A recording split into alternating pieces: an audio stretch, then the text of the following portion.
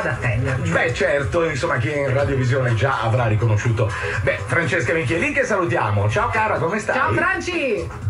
Ciao a tutti, molto bene. Beh, e sei ben accompagnata perché insieme a te c'è il cast di un film molto molto carino, insomma, che- di cui vogliamo chiacchierare quest'oggi. Però io direi che se il cast da solo si presenta, eh, di questi ragazzi molto belli, molto freschi e molto bravi, eh, chi siete?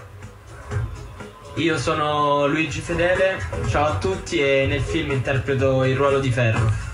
Ciao, io sono Bru Yashimi e nel film Piuma, appunto, sono Kate, quella con la canzone. E io sono il regista Rohan Johnson, nonostante il nome, insomma, sono Allora, benvenuti a The Flight su RTL 1025, questo film che si intitola Piuma e che racconta la storia di giovanissimi alle prese con eh, un'impresa più grande di loro, no?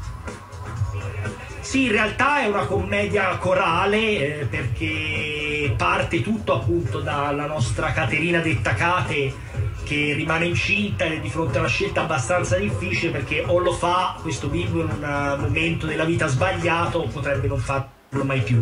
E quindi lo tengono e questo arrivo di questa bimba è una sorta di piccola palla di neve che scende giù dalla montagna diventa una valanga che va poi a travolgere tutti gli equilibri di due famiglie perché poi il film appunto parte da loro che hanno 18 anni arriva a nonnolino che ne ha 80 passando poi per le famiglie con le generazioni intermedie. Quindi diciamo un grande affresco divertente ironico corale eh, di famiglie di oggi Io tra l'altro mi sono portato anche una paperella oggi perché simboleggia un po', è importante per il film, perché simboleggia un po' l'idea del galleggiare, no? Del rimanere a galla di fronte alle avversità della vita, no? Giusto? Sì, esattamente, è una storia che racconta Ferro, che ora ci può raccontare con il suo fantastico accento un po' romanesco.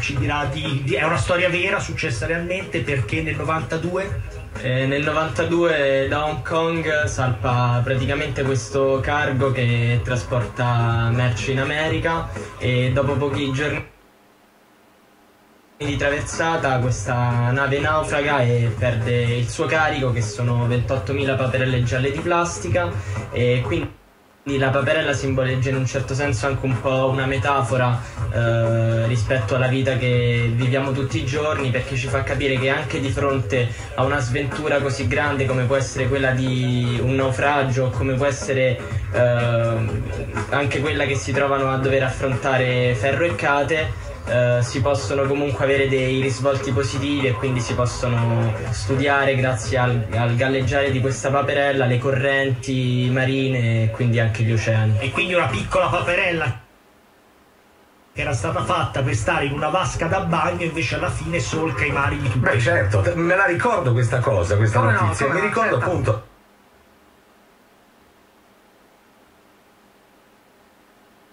Che da queste paperelle, poi da questa cosa fortuita, gli scienziati hanno calcolato e visto anche gli spostamenti, le correnti, come stava cambiando il clima. In questo caso cambia la vita di queste persone, poi. Esatto, esatto. Poi tra l'altro è uno dei temi, diciamo, questo dell'acqua e della paperella che abbiamo usato anche Esatto. nel video di Almeno tu di Francesca e, e che forse ci vuole un po' raccontare anche lei com'è che l'ha vissuta, diciamo, questa metafora dell'acqua e del galleggiare sopra la città, i casini. Sì, beh, la realizzazione del video è stata abbastanza complessa e veramente ogni volta che lo guardo, anche se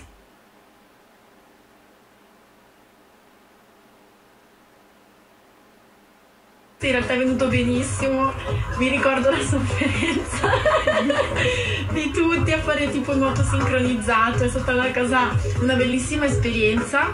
Ehm, sta- è- il video è molto bello perché appunto ci siamo noi che galleggiamo sopra la città e quindi in un certo senso eh, stiamo, guardiamo, mm, cioè siamo in una prospettiva diversa rispetto al solito, siamo, guardiamo oltre i, i problemi, siamo sopra un po' tutti, tutto il casino che è il mondo, come dice Ferro, e, e quindi viviamo la vita con leggerezza, che non è appunto superficialità, ma anzi essere paradossalmente molto intelligenti, affrontare la, la vita con i giusti. Bello. Allora io direi, cara Zac, ci sentiamo il trailer e subito dopo ci ascoltiamo anche la canzone. Francesca Michelina. Niente, ma mi è successa una cosa. Grave? Bel po'.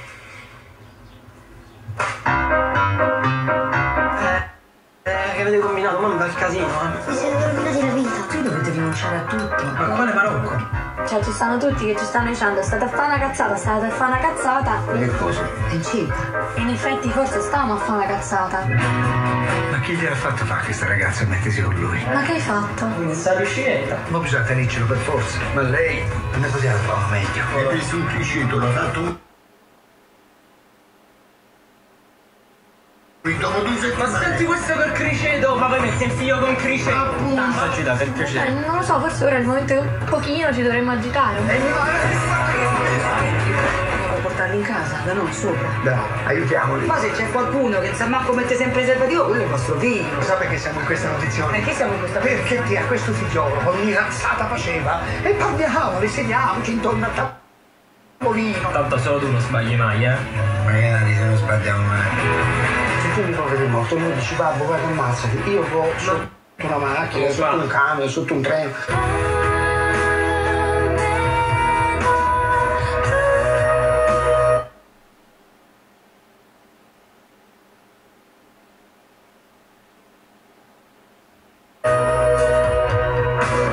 Ce la puoi fare, ce la puoi fare. Ce la puoi fare. Ma ti frega un no qualcosa di questa No, ragazzina? ma stai scherzando? Ma certo che mi freghi io tutto questo lo sta a fare per lei e per te. Adesso vi faccio vedere il cuore. Senti? Lo sento sì, oh, ma che sta a fare là dentro? Questa a correre. Ah, bello! Sempre a far cazzone dalla mattina alla sera. Poi ti succede una cosa che non ti aspetti e ciao. Hai capito che la vita è breve? Ma che cazzo stai Che cazzo stai?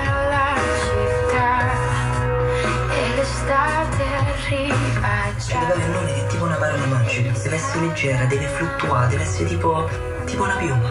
Ecco, piuma si dovrebbe chiamare.